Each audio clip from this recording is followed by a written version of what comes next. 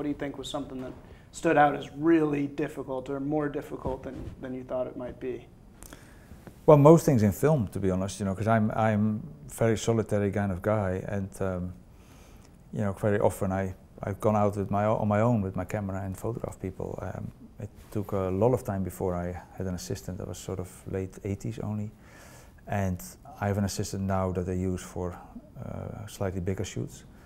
But like the photo, uh, the photography of the painters that I do a lot, it's actually always uh, just me.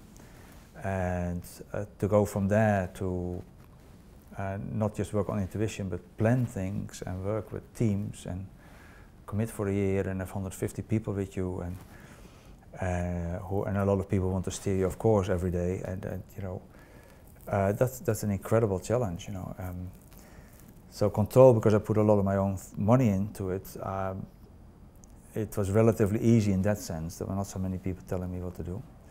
But then for the next film, I thought, well, I might as well see what else is out there. Um, so I took a film that was a Hollywood film, a studio film at least, and I felt that having done Control with all English actors or German actors, I needed to maybe do something with an American actor just to see how different people work. Yeah. And do it in color and have a, a, a fictional story and um, all that kind of stuff. Uh, and a very different genre.